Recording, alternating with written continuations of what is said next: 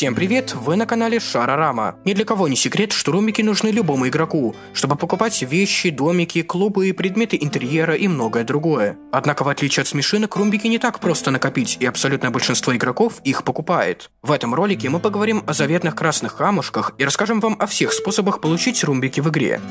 В первую очередь стоит упомянуть награды из календаря добрых дел. За сбор 12 фишек вам дадут один румбик и 200 смешинок в придачу. Задания и награды обновляются каждый понедельник, это позволит вам стабильно получать один румбик в неделю. Второй источник румбиков – это награда за вход в игру 5 дней подряд. На пятый день последовательных входов в игру нам вручат 2 румбика. Таким образом, каждый пятый день принесет нам еще 2 румбика. И пятидневки, и календарь добрых дел дают довольно мало румбиков. Всего лишь 2 и 1 соответственно, и чтобы накопить на что-то, нам потребуется потребуется много времени. Но что если мы скажем вам, что в игре есть кое-что еще? Следующий способ принесет вам несколько больше румбиков, однако для него вам придется особенно постараться. Как часто вы заходите на арену питомцев? Бои против питомцев других игроков добавят только смешинок в вашу копилку. Но что насчет боев со злобырями? За прохождение трех последних лагерей со злобырями вы получите в награду 1, 2 и 3 румбика соответственно. На первый взгляд эта задача может показаться достаточно простой, но это не совсем так. Видите ли, злобыри из последних лагерей очень сильные и для того, чтобы состязаться с ними, наш питомец тоже должен быть очень сильным. Если вы хотите с легкостью проходить все лагеря злобырей, вам понадобится питомец чуть ли не максимального уровня, а это уже само по себе достижение.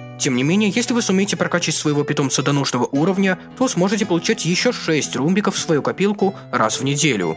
Помимо вышеупомянутых способов заработка румбиков в самой игре, вы можете попытать свои силы во множестве конкурсов в официальной группе Шарарама ВКонтакте. За победу вы получите от 5 до 7 румбиков, а вашу работу увидят другие игроки. Однако мы не станем включать эти румбики в нашу статистику, потому что это ненадежный способ и угадать будет сложно. То же самое можно сказать и про модельеров Шарарама. Если ваш эскиз выберут и добавят в игру в качестве наряда за румбики, вы будете получать определенный процент от всех продаж. Итак, что же мы имеем в итоге? Давайте подсчитаем. Один румбик из календаря добрых дел каждые 7 дней, 2 ромбика за пятидневку и 6 ромбиков с боев со слабырями каждую неделю. В сумме получается 7 ромбиков в неделю и еще 2 каждые 5 дней. Кажется не так много, но давайте почитаем, сколько ромбиков можно набрать, скажем, за один месяц, за 3 месяца, за полгода и за один год. За один месяц мы успеем выполнить 6 пятидневок, принять участие в 4 неделях добрых дел и победить всех слабырей 4 раза. Это принесет нам 12, 4 и 24 ромбика, в сумме 40 ромбиков. Неплохо, правда?